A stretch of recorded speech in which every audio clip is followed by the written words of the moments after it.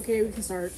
Welcome, everybody. Good to be with you today. It is the beginning of the end. We have been walking alongside Miss Sophie Amundsen since the end of September, the beginning of October. She's been learning all the same things we've been learning, and now we begin the first of two lessons to find out how her story ends. Um, you'll recall that Sophie's under, so the two things are going on with Sophie. It's not just the learning, it's also the mystery of, I never turned on food, but I'm teaching, like actively teaching right now and being filmed. Yes, later, definitely. Haley's my favorite. Um, she's also been getting these strange messages, remember, for this other girl named Hilda.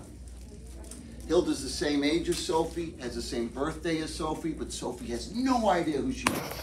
She's never met this Hilda, and yet Hilda's father is sending messages to his daughter, care of Sophie. And then it gets weirder than that. She starts finding Hilda's belongings around her house. She starts finding postcards. In the postcards, chapter 13, she sees postcards that Hilda's father sent from Lebanon to Norway, which is a distance of exactly very far, and they're postmarked the same day, and that's not possible. Sophie even dreams of Hilda. That's not odd. If you were getting strange messages, you'd probably dream about this person too. Um, so she's in, she's in the dream and she's trying to interact with Hilda, and she reaches for her. Hilda can't see her. She reaches for her, and Sophie grabs a hold of this gold crucifix that's around Hilda's dream Hilda's neck. And Sophie wakes up, and the crucifix is still with her in her hand. She pulls this crucifix, Freddy Krueger style, out of the dream. So something very weird has been going on, and we're about to get to the bottom of what it is. One day, Sophie finds another postcard from Hilda's father, addressed to Hilda, and she goes and she takes it to Alberto. Since the last time we talked to Sophie, she started meeting Alberto in person in his apartment. Some people have pointed out that's even creepier than the letters. Nevertheless, that's what's going on. And when, when Sophie reads the postcard to Alberto, where Hilda's father compares himself to God, Alberto gets very angry. We've never seen a reaction like this from him. But all of a sudden, Alberto reacts with this hatred toward this mysterious father of Hilda. He gets ruder all the time. But maybe it's just as well, said Alberto. Why? Uh, it'll make it easier to unmask him. But this trick was both pompous and tasteless. It almost stinks of cheap perfume. Perfume? It tries to be elegant, but it's really a sham. Can't you see how he has the effrontery, the gall, the nerve to compare his own shabby surveillance of us with God's providence? Alberto holds up the card, rips it up, and says, No more worrying about Hilda and Hilda's father. Let's get back to learning. Alberto then, over the next several days, begins to teach Sophie about some of the early modern philosophers. And the very first one he introduces her to, the very first one he introduces her to, is Rene Descartes. Lives from 1596 to 1650. He's considered the first of the modern philosophers. We're going to spend a couple minutes with him, longer than we're going to spend with any of the other people in this sequence, because there are a couple of ideas from Descartes that we need to understand, because they're really important for forming the world that we're in right now. Descartes wants to build a firm foundation for what we can know. He's living on the other side of all these changes in society. The, the Middle Ages end, the Renaissance begins, there's the Reformations, there's all the Reformation, there's all the wars, there's all the killing and misery, people fighting over things that they believe to be true. You're not going to be able to get through. Go sit down. They're fighting over things that they believe to be true but do not know to be true. Descartes wants to figure out what it is that we can actually know. So he says the way to start is imagine that there is a demon. He's not saying there's really a demon, he's a thought experiment. Imagine that there is a demon. And this demon has made it so that you are hallucinating your whole lived experience. Leola Marie thinks she's eating sketty, She's not. She's hallucinating, sketty. It's not real. How would you prove that that's not the case? How would you prove that that sketty is real and not some demon implanted it in your mind? By eating it. Throw it in their face. By eating it, you say, but the demon has just implanted the sensation of, ta- of taste and uh, sensation of a full stomach. No, see, there's no way, there's no way to prove it. So, what can we know? If everything around us can be fake, can be untrue, what is left for us to say, I actually know this with some certainty? What if, what if, Haley, what if you don't exist? Can you even know that you? I feel like I. I don't know if you exist, but I feel like I know I. Ah, yes, Haley's onto something. So Descartes says, stupid am I, do this. Try to doubt whether you exist. Okay? Are you able to do it? Mm, yeah. For a second. You're able to doubt your own existence for a second. Then Descartes says, but wait a minute. When I doubt whether I exist, doubt is a form of thinking. So even while I'm doubting, I'm thinking. And if I'm thinking, well, in Latin, cogito ergo sum. Descartes says, I think, therefore I am. The fact that I am a thinking being means that I can know with 100% certainty that I exist. I cannot know that Haley exists. I wish I didn't know that Amaya exists, but the only thing I can have 100% certainty on is the brute fact of my existence. I could be wrong about every detail. So, what if I'm dreaming? What if it's a computer simulation? What if I'm a character in Ava's dream? What if I'm a brain in a vat on some mad, mad scientist's shelf with electrodes sticking out of it? In all of those cases, I still exist. I'm just wrong about what kind of existence I have. Even if I'm a figment of Caitlin's imagination, I'm still a figment of her imagination that exists. Everything else, though, is open to at least the potential of doubt. He then goes and reconstructs uh, our ability to know things with less than 100% certainty. Um, and he, he sort of cheats here, and that's not going to be the main, our main focus. But if you look into how Descartes reconstructs reality, he leaps from philosophy to faith right at this point. And he says, well, God is good, and God wouldn't create a universe in which everything around us was, was unreal, and that we're just walking around deceived. That, that may well be the case, that may well be what someone believes, but it's kind of cheating in the argument that he was trying to build. The other important point about Descartes that we're spending a little more time with today than the other philosophers is how he defines what we are and the relationship between the world of matter and the world of spirit, or between the body and the soul. He looks at our physical bodies and he says they're essentially machines, like a clock. You wind up a clock and it works on its own power. Our bodies work on their own power. Inside our bodies is something else, and that's the soul, the ghost in the machine. He still believes in the soul. But he has radically overturned what the soul is because he has presented body and soul as two entirely separate, distinct things which have been combined artificially. So, from Descartes' perspective, it would be perfectly possible for there to be a fully functioning living human being that happened not to have a soul, because a soul is added from the outside in Descartes' perspective. Two entirely different realms that don't mix at all.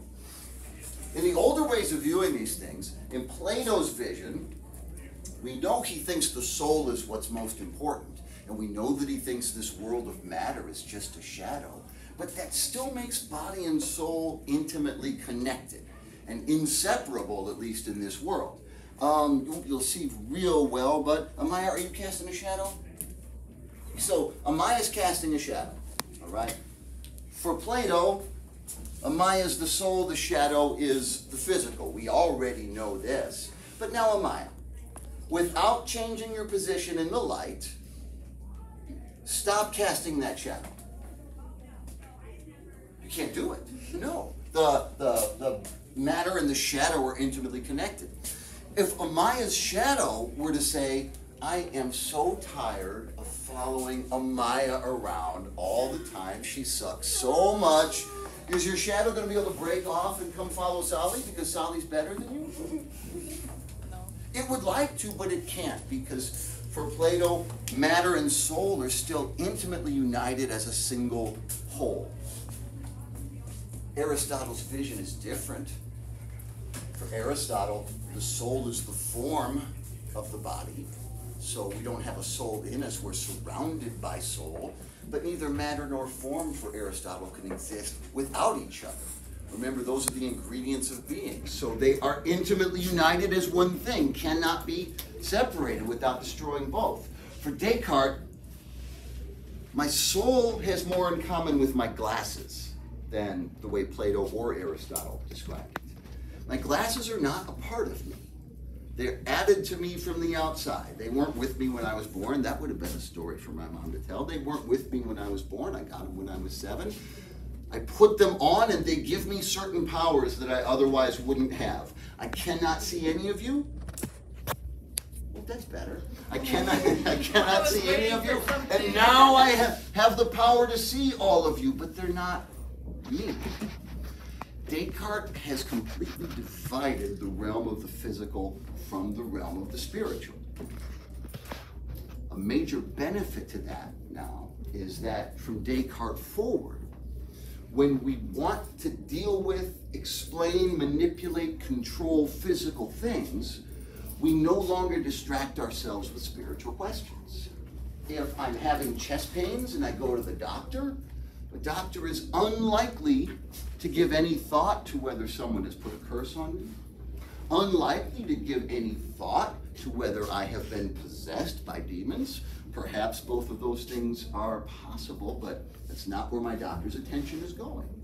Because if my doctor started there, I'd be dead before he ever actually looked at the machine, the pump that is my heart. That's the positive of Descartes. The negative, the potential negative, at least as the way we experience reality, it sort of rips some of the magic and some of the meaning out of reality. If, if indeed we are but machines, that we could very well live without this spooky other layer. Within a generation, Descartes a Descartes a, a religious person. Within a generation, people are going to start asking, well, if I can do without it, then why don't we just do without it? Um, some will experience that as a negative consequence. Some will experience that as liberating. If we do without the spooky magic stuff, we're not burning anyone alive over it either. So I'll leave it to you to judge whether that's a positive or a negative. What is undeniable that it has a huge impact on the way our world has developed since then. Alberto then teaches Sophie about Baruch Spinoza, who lived from 1632 to 1677. We're just going to spend a quick moment on each of these other philosophers now that we've introduced Descartes. Spinoza looks at God and Spinoza looks at nature and he says they are one and the same thing. Whereas Descartes had divided body and soul, Spinoza completely unites them, so much so that there's now no longer any distinction. According to Spinoza, if you want to know what God wants of you, or if you want to serve God, or if you want to connect with the, your higher power, the ultimate reality, don't look to anything supernatural because there is nothing supernatural. Because God and nature are one. That will have a major impact on how the sciences develop. John Locke, you all spent time with him in civics class, didn't you? Yes. John Locke? Yeah, huh? Yeah. Vinny, you no way you were paying attention in civics class. I knew you was a ninth grader. You tell me you were paying attention in class in eighth grade? Alright, pays attention now. Um, US government. Locke is an empiricist, so he believes that the only knowledge we have access to is that which comes from our senses. That we're born empty, a blank slate, tabula rasa in Latin. And that all we have in our mind when we're born are structures, like, like these. So this might be this might be my mind now. This might be Solly's mind right now. But this is my mind when I'm born. It's empty, and this is Amaya's mind right now. It's empty except for blank pages. It's empty, but it has the structures that will allow me to organize the knowledge that I add to it. Um, some of that knowledge from my senses is objective. I can be sure of it. So, that. You and me, we're going to count the other people in this row, not, inclu- not including you. Count. One, two, three, four. What'd you come up with? She came up with four, I came up with four. We used our senses, the sense of sight, to determine there were four people. We're in agreement. The quantity of people in this row is an objective fact. Now, Mary, what color hair does Francine have? Who's Francine? Francine, raise your hand. Um, dark brown with light, light brown highlights. Dark brown with light, light brown highlights. I see the same thing. I would have said more reddish, but I see the same thing. Now, but what I can't possibly know is when Mary experiences the sight of dark brownness, and I experience the sight of dark brownness, whether our inner experience is the same or even close. It could be that when I experience brown, I'm experiencing what Mary experiences when I experience green. Or maybe Mary's experiencing something I couldn't even conceive of. It's a subjective reality. A lot of what we think we know is really subjective, where there is no way to come to consensus on an exact answer to it. What we need then is as many perspectives as possible, as many voices in the conversation as possible. You met John Locke when he was talking about politics. It shouldn't surprise you, though, that one of the most important philosophers behind our concept of democracy is someone who also believes that all knowledge depends on having as many voices in the conversation, as many perspectives as possible. Locke didn't just wake up one day and say, What do I think government should be like?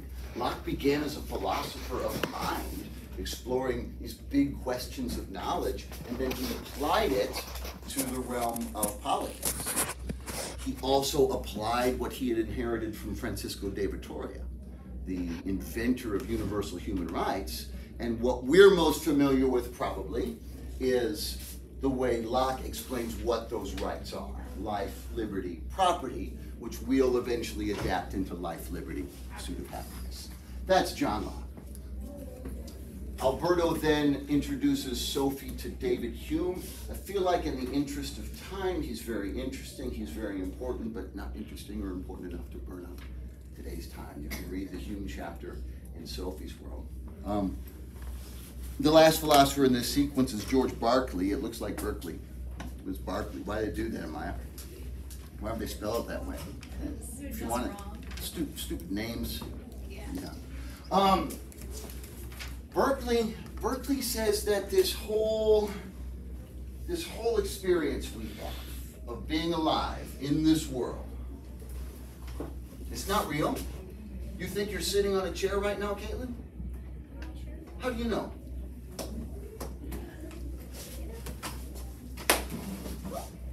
Because you can feel the chair underneath you, right? Berkeley says, psych! All of our sense experiences, yeah, that's all we can know, but none of it's real. Because there is no physical universe. There is nothing but God and the mind of God. We're not these beings of flesh and blood. It's just, that's just an interface that helps us make sense of our experience. We are thoughts in the mind of God. There are people who make arguments like this to this day. They shift some of the details. Berkeley's a bishop in the Church of England, so he's going to he's going to express his God language in a very Christian way. Um, those who argue that we're walking around in a computer simulation, they might not be talking about the mind of God, but they're painting essentially the same picture. And there's a scientist who's been really popular over the last five or six years. His name is Donald Hoffman. He doesn't overtly use God language, but he's arguing that what's most real, the basic level of reality, isn't matter, it's thought. That if there's consciousness that runs through everything, and the basic level of reality is mind. And three dimensional space time that we live in, where I can I can smell things, I can see things, I can touch things. All of that is, it's like, here's an example he uses. I wasn't planning on doing this, but all right, it's like, if I could ever get to my stupid desktop, it's like, so many things. all right. So it's like it's like the desktop menu on your computer. Okay. So here is here's VLC media player. We play movies and stuff with that. Well, it's an orange cone. Is is this program an orange cone? No. Is this really the program? This picture? No.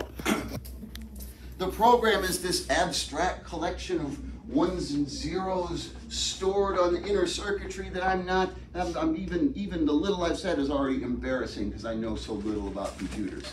But if I had to deal with this program as it actually is, that I had to dive into the ones and the zeros and uh, circuitry and stuff, you know, to watch a movie, I'm never watching that movie. All right, I'm not at my level of experience. This is close enough to what's real to get me what I want to do. Donald Hoffman will say, uh, three-dimensional world of senses and solid things. Um, it's it's not designed to. It's not what's real. It's just we experience that because it helps us survive and reproduce. Now we've gotten ahead of ourselves because Donald Hoffman is alive today, and Alberto was talking about people in the 1700s. At any rate, it was a lot for Sophie to take in, right? What we've just covered in 20 minutes or so uh, took Sophie several days. The last thing Alberto introduces her to before we move back onto Sophie herself is the Enlightenment. The Enlightenment is this beautiful moment where this isn't true. History's almost always written in blood.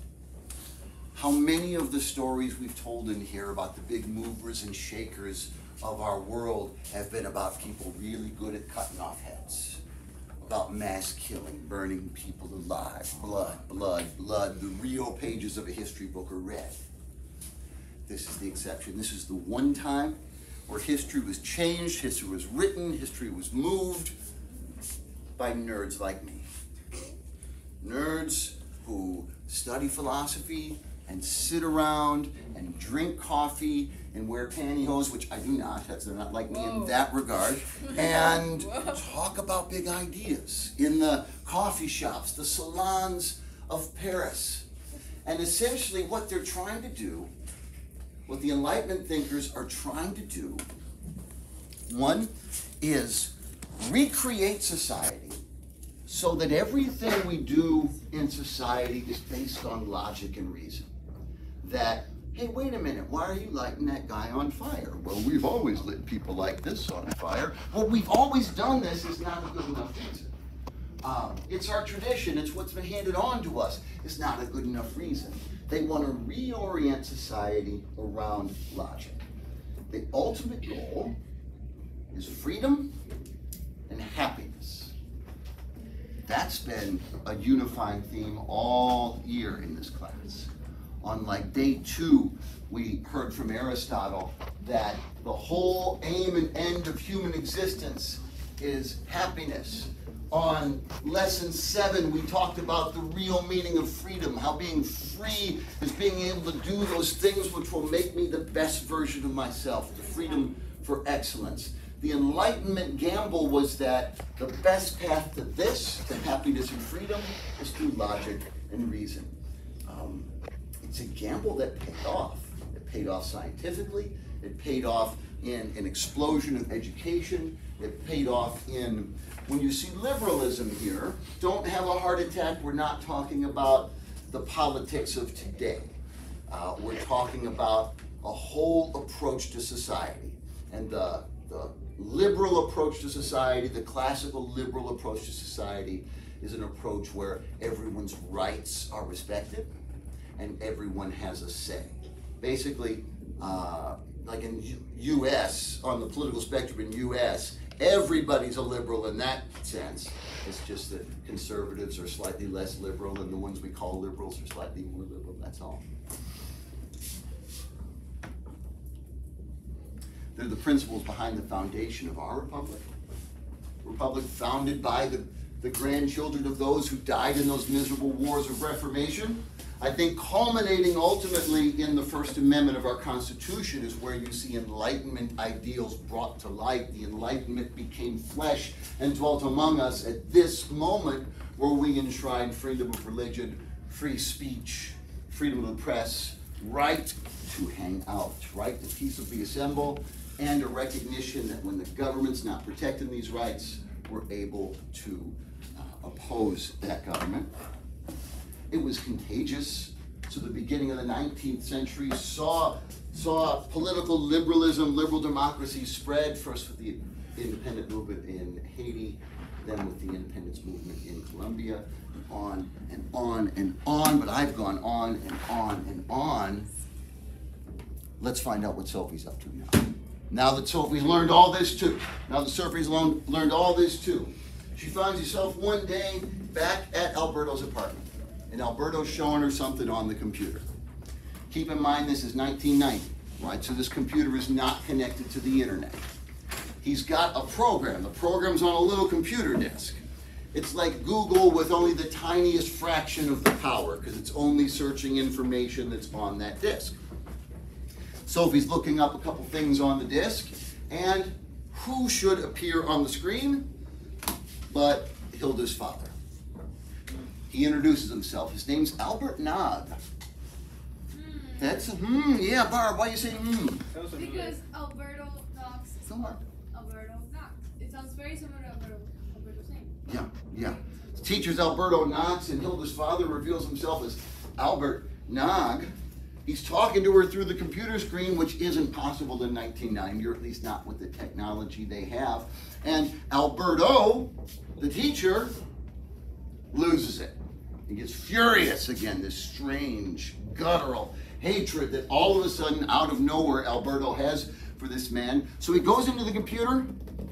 Yeah, I'm so stupid. He goes into the computer.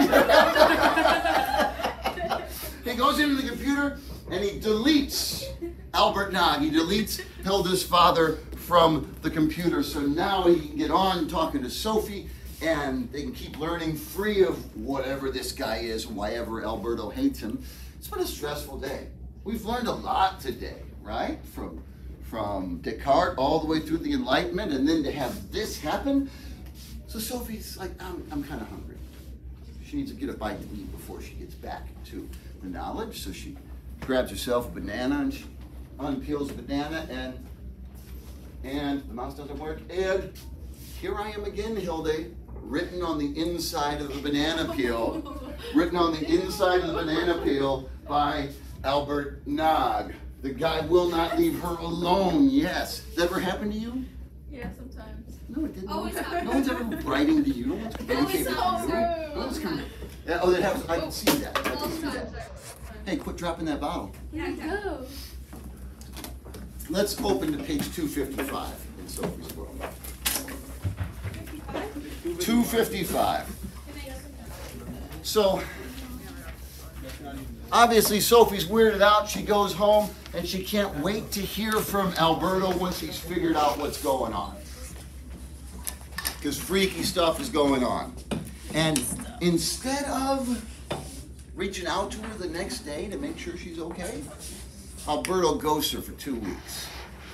Two weeks go by. She hasn't heard from anybody. And now it is June 14th. It's the day before both Sophie and Hilda's birthday. Um, we're on 255, about two thirds of the way through the page. Exactly two weeks went by without Sophie hearing a word from Alberto. She got another birthday card for Hilda, but although the actual day was approaching, she did not receive a single birthday card herself. One afternoon, she went to the old town and knocked on Alberto's door. He was out, but there was a short note attached to his door. It said, Happy birthday, Hilda. Now the great turning point is at hand, the moment of truth, little one. Every time I think about it, I can't stop laughing. It has naturally something to do with Berkeley, so hold on to your hat. Sophie tore the note off the door and stuffed it into Alberto's mailbox as she went out. Damn, surely he's now gone back to Athens. How could he leave her with so many questions unasked? We're going to jump down just a little bit in the page. She's frustrated. She goes and grabs Hermes. Who's Hermes? No. The dog. Hermes is the dog. When they had, when she, when Sophie and Hermes had crossed Main Square and were making for the old town, they passed by a park with a playground. Hermes stopped by a bench as if he wanted Sophie to sit down. She did, and while she patted the dog's head, she looked into his eyes. Suddenly, the dog started to shudder violently. He's going to bark now, thought Sophie. Then his jaws began to vibrate, but Hermes neither growled nor barked. He opened his mouth and said, Happy birthday, Hildy. Yo. Sophie was speechless. Did the dog just talk to her? Impossible. She must have imagined it because she was thinking of Hilda. But deep down, she was nevertheless convinced that Hermes had spoken in a deep, resonant bass voice. The next second, everything was as before. Hermes gave a couple of demonstrative barks. Leola, bark. No. Bark! Oh, as if to cover up the fact that he had just spoken with a human voice and trotted on ahead toward Alberto's place. As they were going inside, Sophie looked up at the sky. It had been fine weather all day, but now heavy clouds were beginning to gather in the distance. Alberto opened the door, and Sophie said at once, No civilities, please. You are a great idiot, and you know it. Oh, you should be Alberto then. Oh, hold on. I don't even know where we are. Wait, what's the matter now? The major, that's Albert, Albert now, the major taught Hermes to talk. Ah, so it has come to that. Yes, imagine. And what did he say? I'll give you three guesses. I imagine he said something along the lines of "Happy birthday." Bingo! Let's let's now um, we're gonna jump. We're gonna jump to page 280. Okay. We're at the we're at the very last line. We're at the very last line on page 280. Here it is. And it's Alberto speaking here. So to be or not to be is not the whole question. The question is also who we are. Are we really human beings of flesh and blood? Does our world consist of real things? Or are we encircled by the mind? Sophie continued to bite her nails. Alberto went on. Material reality was not the only thing Berkeley was questioning. He was also questioning whether time and space had any absolute or independent existence. Our own perception of time and space could also be merely figments of the mind. A week or two for us need not be a week or two for God. Here, be Sophie. You said that for Berkeley, the spirit that everyone exists, or that everything exists, is in its. Wait, in is the Christian God. Yes, I suppose I did, but for us, Us? for us, you and me, this will or spirit that is the cause. Ah, I just lost my spot in the most important part. Right. For us, for you and me, this will or spirit that is the cause of everything in everything could be Hilda's father. Sophie's eyes opened wide with incredulity. Yet at the same time, a realization began to dawn on her. Is that what you think? I cannot see any other possibility. That is perhaps the only feasible explanation for everything that has happened to us. All those postcards and signs that have turned up here and there, Hermes beginning to talk, my own involuntary slips of the tongue. By that he means he's been he's been calling Sophie Hilda. I. Imagine my calling you Sophie, Hilda. I knew all the time that your name wasn't Sophie. What are you saying? Now you are definitely confused. Yes, my mind is going round and round, my child, like a giddy planet round a burning sun. And that son is Hilda's father?